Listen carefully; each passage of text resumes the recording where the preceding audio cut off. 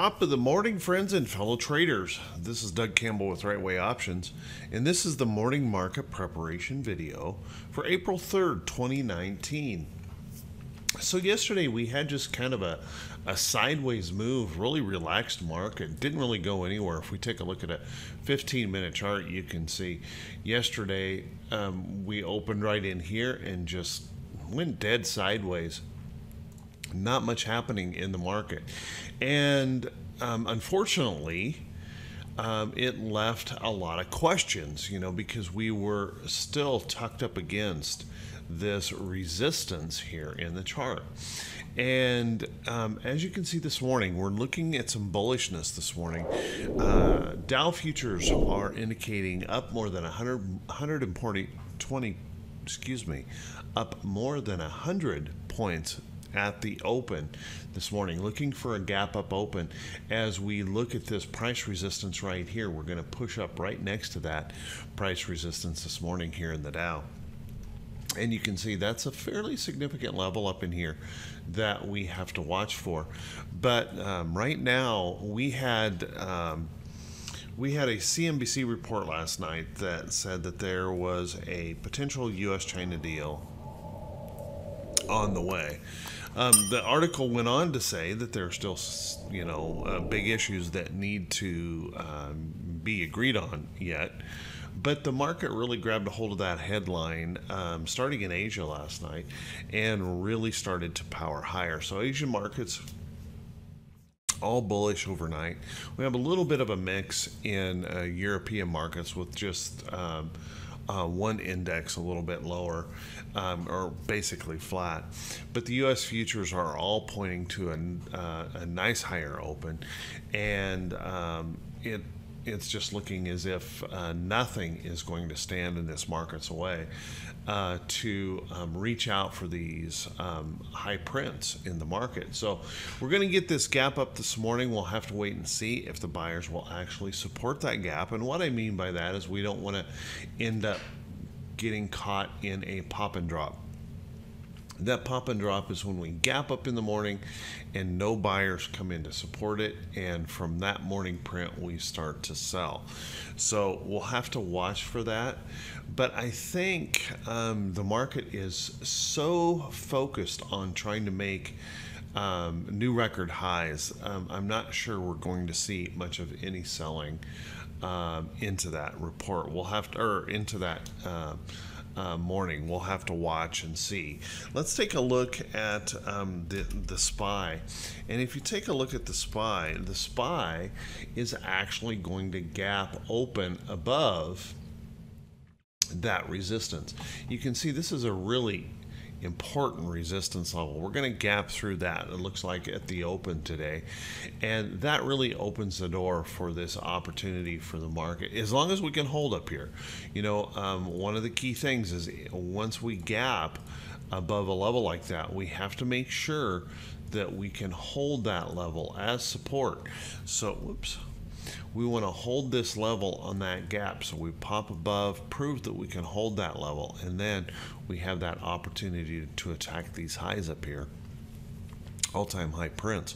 So um, perhaps we're going to see a new record in the market here um, in the not too distant future as long as those bulls continue to hold up and we continue to get these warm and fuzzy reports about um, U.S.-China trade deal.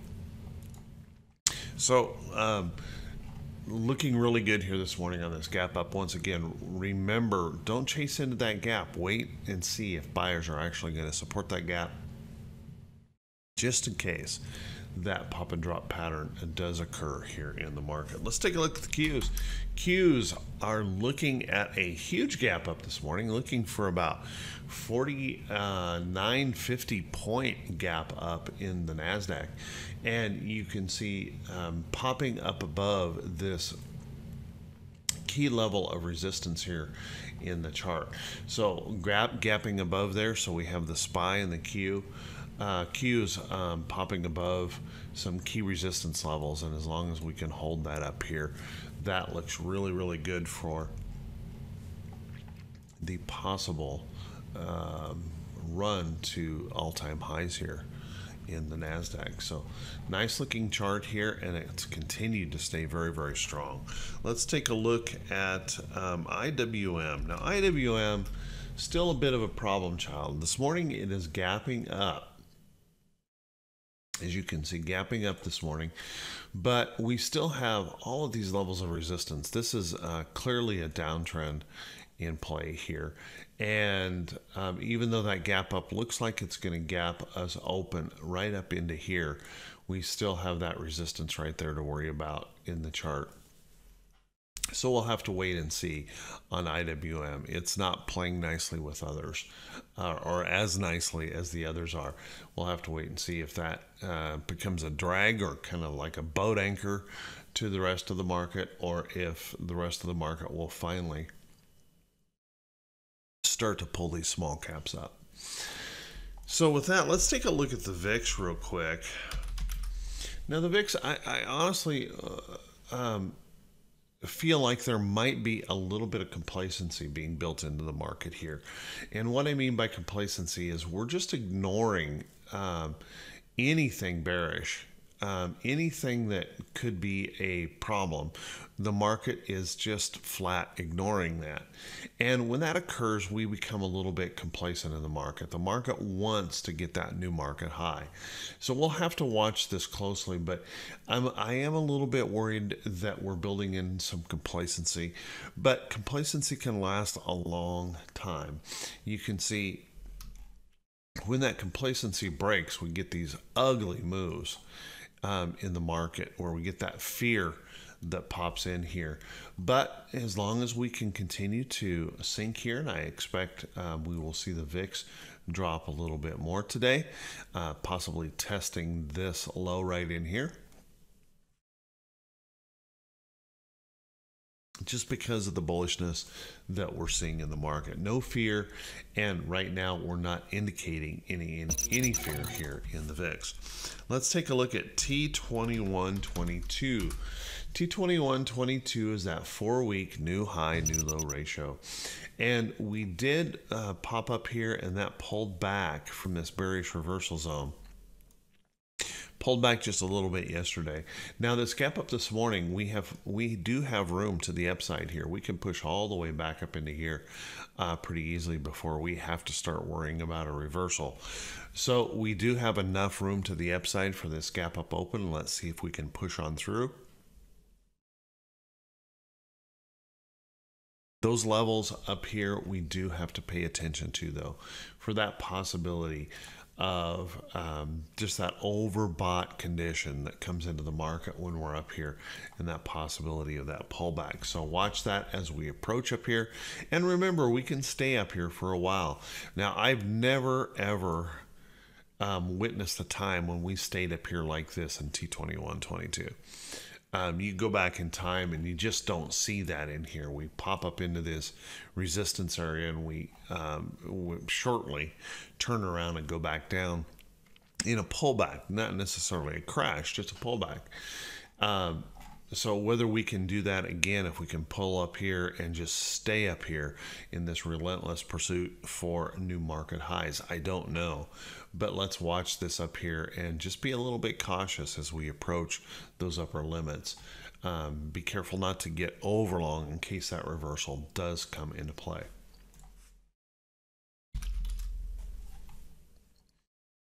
Let's take a look at the economic calendar this morning.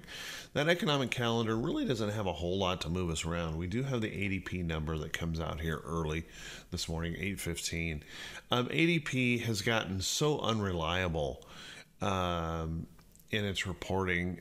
Um, it, it's become one of those that uh, the market largely um, ignores. But you never know. You never know. Um, it could start getting a little bit uh, closer to the actual number um, and start picking back up. Uh, it's its a meaning to the market. But right now, I wouldn't worry too much about that ADP number unless it's just really, really a surprise, uh, big surprise one direction or the other. Um, keep in mind that we have a Fed speaker here today at 8:30. We have PMI Service index not expected to move the market. ISM non-manufacturing report can move the market, but um, unlikely to move it much at all. And then that EIA petroleum status report, followed by another Fed speaker today. And you can see that EIA petroleum status report does have the potential to move the market. If we get a surprise build in oil supplies, we could see that affect oil stocks, and that makes it difficult for the market to continue to rally. Of course, if we get a surprise decline in surprise, uh, a surprise in decline in those supplies, we could certainly see um, that those oil prices continue to push higher. Um, as we move forward. So let's take a look here. Um, we do have oh, about 30 companies or so that reporting earnings today. Nothing of major consequence as the earnings continue to roll in from the first quarter. We're just kind of dribbling along here, um, finishing up some of those uh, earnings before we we begin um, um, next season's um, earnings reports here in about two or three weeks. So um, as they we can tr- continue to dribble these reports in, just keep in mind we have uh, a big earnings season just about ready to kick off again um, in the market. So with that, everyone, hey, I want to wish you all a fantastic day. I want to wish you great profits. And if this is the first time you've seen these videos, do me a quick favor: click that subscribe button on YouTube click those thumbs up buttons and leave uh, a comment. Make sure you click that bell icon as well so that you're notified when these videos come out. You know, guys, I really do do uh, the best job I can in trying to help everyone prepare for the day. The purpose of these videos is not to give you um, uh, buy sell decisions or try to predict the market. It's to to help you prepare uh, for your day and help you uh, maybe um, ground your or ground yourself a little bit on how to approach the market for the day.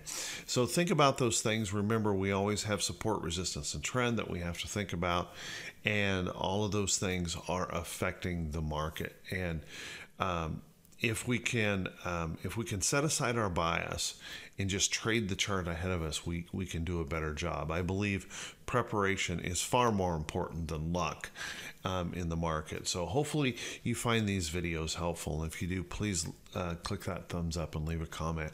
Also, please do me a favor, click that share button and, you know, share this video with anyone. It's free to everyone. Share it out there on your Facebook feeds, your Twitter pages, however you use social media. Thank you, everyone who does that. It, I appreciate it a ton. So with that, everyone, let's take a look at a few charts that may be setting up. Now, what I like to do is, is provide a few charts, but I want everyone to understand these are not recommendations for, to buy or sell.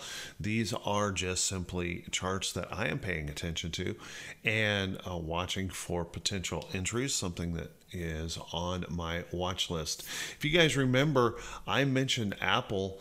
Uh, the last couple of days, I've, I've mentioned Apple, and Apple did get a move um, nice move yesterday, moving on up. I would suspect a a move up in here to to test this resistance high in in the chart um, is certainly possible on Apple. After that, it becomes a little bit more uh, questionable. Don't be surprised to see this get a little consolidation right in here, little resting period or pullback before it can pop on up. But I'll tell you what, if it can break through this level here, there's some upside potential in Apple that everyone should be paying attention to. Really nice potential move. Uh, take a look at GoPro. GoPro, it has this ugly, ugly resistance uh, zone right in here that it has to deal with. But I think it's really interesting that GoPro has moved up this trend very nicely, consolidating beautifully and starting to get that bullish action in here that may pop it through. So you might want to take a look at Go, GoPro Go Pro and put it on your list if you're interested. I really like Weyerhaeuser here. Now, Weyerhaeuser um, is one of those stocks that um, typically doesn't move really, really fast, okay? But you can see we have this really nice rising pattern here, breaking through this price resistance, and just a nice big bullish candle here, and now this nice quiet little consolidation right here at price resistance. So what I wait for, you can see that my pink uh, line here is that alert. I just wait for that um, stock to pop on through. And if it pops up through there, I may be a buyer here of Weyerhaeuser watching this chart to move higher. By the way, this is one of my favorite patterns to trade. It's called a rounded bottom breakout. And notice I have that 50 day moving average already turned up. That's one of my favorite patterns. Um, upside target on this um, would be somewhere around that 200 day, maybe even a little bit higher. So watch that. Weyerhaeuser looking really good here and one to pay attention to. Kind of take a look at um, 3M. Now, 3M is one of those old boring stocks, but doggone, it's looking pretty darn positive here right now. And you can see we broke this long downtrend here in 3M. We've struggled and and and wheezed and climbed and clawed our way back up here um, through these highs, and you can see we have 3M popping out here. Now, I wouldn't be all that surprised looking at some of the price resistance that we have in the chart to see this kind of slide sideways toward this trend before it goes. But let's keep an eye on 3M. 3M has that possibility. If we take a look at 3M on a longer term chart, this becomes a really pretty uh, chart and possibly even a nice position trade for those of you who might like one of those longer positions to pay attention to. Um, really nice potential chart. So good charts uh, kind of showing up all over the place um, in the market. Uh, take a look at. Um, Oh, where's my chart? Take a look at AACB. ACB is one of those cannabis stocks, and you can see I've, I've mentioned this one before. We made some really nice money on ACB right through here. You can see my alert on that chart uh, in that move up. Now, ACB has got this nice little pullback going on. Unfortunately, it broke down below this support. So my requirement here is we either need to make a nice tight consolidation over trend and then pop out. I could buy that or I need to see this stock recover this support, hold it as support, and um, then show me a buy, and I would be interested in ACB. So one to keep an eye on there.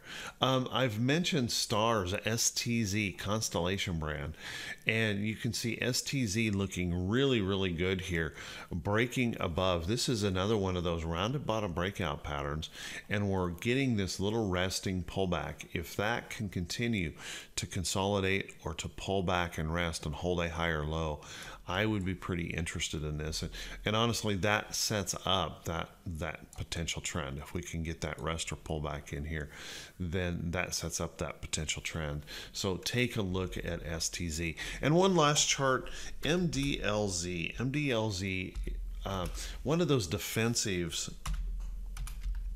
one of those defensive companies. Um, but this is a, a big deal here. Um, if you take a look at MDLZ, we're looking at a multi year breakout.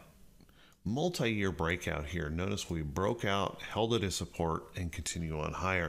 And now we have this really nice um, daily trend here where we've moved up and consolidated back over. You can see moving up, moving up, consolidating over to this trend. I'm watching this right in here to see if I can find that next buy into MDLZ. Looking pretty good here, so keep an eye on that chart. This massive breakout, those kind of things can oftentimes lead um, into really nice gains for a chart over a length of time. So um, keep an eye on that. So with that, everyone, hey, have an awesome, awesome day. I wish you great profits. And if uh, if you feel uh, so inclined, please share this video with any of your friends and family, and make sure you click that thumbs up and. Uh, leave a comment. You guys are awesome. Have a great day. I wish you all the best. We'll talk to you all bright and early on Thursday morning.